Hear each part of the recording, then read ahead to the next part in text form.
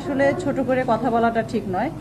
দিনটা ডে পোস্টারের সামনে দাঁড়া করল তো আমি বললাম কেউ চিনে না হয়তো দুই হাজার লোকও চিনে না বাট আমার মনে হয় যে আপনারা এই দুইটা পোস্টার একটু সরিয়ে রাখেন। দিনদার ডে এবং পরাণ সিনেমার পোস্টার সরাতে বলায় সমালোচনার মুখে পড়েছিলেন হাওয়া সিনেমার নায়িকা নাজিবা তুষি।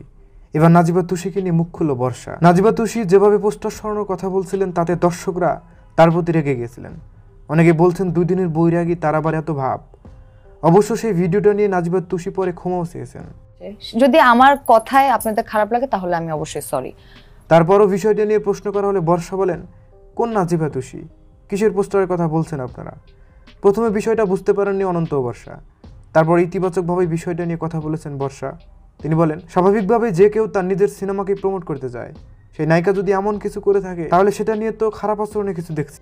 আসলে কে কে বলেছে কি আমি জানি না। আমি দেখিও নাই। আর আর যদি কেউ এটা করে থাকে, আমার মনে হয় এটা খারাপভাবে না দেখলেই হয়, কারণ স্বাভাবিক। আমিও যখন কোথাও যাব, আমিও চাইব যে আমার আশেপাশে যেন আমার পোস্টারটাই থাকে। সো এটা আমার মনে হয় না খারাপ কোনো কিছু।